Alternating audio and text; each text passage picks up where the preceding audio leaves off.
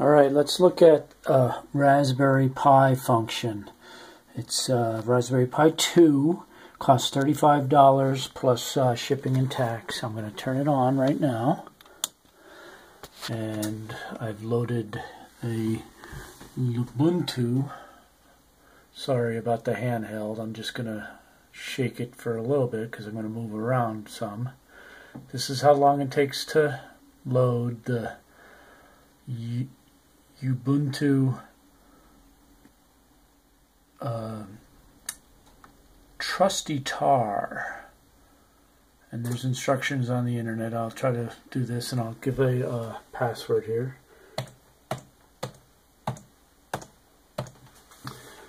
This is loading the Lubuntu desktop. And I'm just doing music uh, with it so that shows you how fast um, the desktop loads. And I'll open up GNOME Player.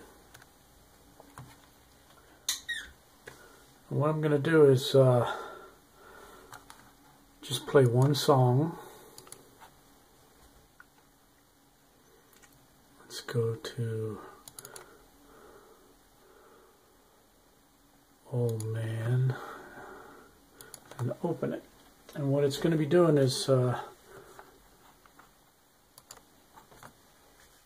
running through this uh, SMSLM2 so it's a USB output along with a uh, mouse and keyboard. And I have a Wi-Fi dongle all hooked into this uh, Raspberry Pi 2 and I have the HDMI output. So all this stuff um, isn't actually needed once you get the um,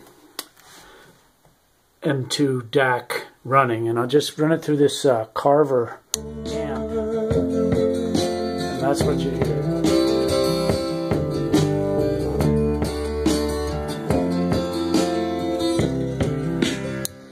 It's quite excellent with just uh, headphones running through this uh, digital audio converter. It takes uh, USB and makes uh, analog output.